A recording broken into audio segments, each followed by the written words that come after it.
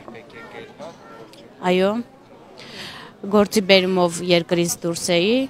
Ես երբ ամսի 14-ին հետ եկա Հայաստան, արդեն փակ էր փողոցները, ճամփաները։ Ու չեք կարողանում գնալ։ Ոչ, Ովքեր ունեք այնտեղ, ովքեր դեր։ ամուսինս։ Կապ չեք ինչ է ասում, ինչ իրավիճակը այնտեղ։ Այո, կապի մեջ ենք, բայց հիմա ոչ մեկը ոչ մի տեղեկություն չունի։ Ոչ մեկը հաստատ ոչ մի լուր չի կարողանում ասել թե երբ կբացվի, ինչ կբացվի, ոնց կբացվի, ինչ պահանջներ ունեն, ինչ պահանջներ են առաջարկում մեզ։ Արդյոք դա մեր ժողովրդին պետքական է թե չէ։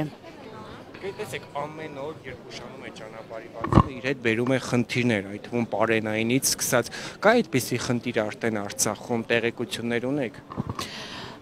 Իհարկե, բնականաբար, եթե սնունդ չի մատակարարվում, եթե դեղորայք չի մատակարարվում, պահեսներում ինչքան կա կսպառվի։ Դա ժամանակի հարց է։ Դեկուզ 10 օր, 15 օր չեմ կարող ասել հստակ քանակը պահեսների ը, մնացորդների, բայց բնականաբար դա մի օր սպառվելու է. կան փոքր երեխաներ, կան հիվանդներ, կան ծերեր, ծնողներս նույնպես գտնվում են այնտեղ։ Մեծահասակ հայր ու մայր ունեմ Մարտակերտում։ Հիմա ձեր կոչը Չեմ կարող իմ կոչը ուղված է ամբողջ աշխարհին։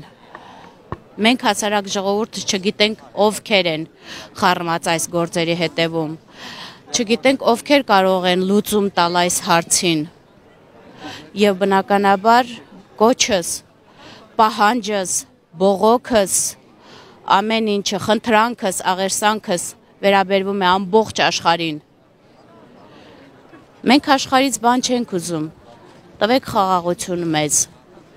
Թողեք մենք մեր տանը հանգիստ, մեր Արցախում, մեր հողում, ինչպես մեր ապուպապերն են ապրել ու հանգչել, նույնպես մենք ապրենք ու հանգչենք մեր հողում։ Ուրիշ պահանջ չունենք։ Եվ չգիտեմ ումից ում ինչ պահանջել։ Ամբողջ աշխարից եմ խնդրում։ Աշխարհին եմ կոչ անում։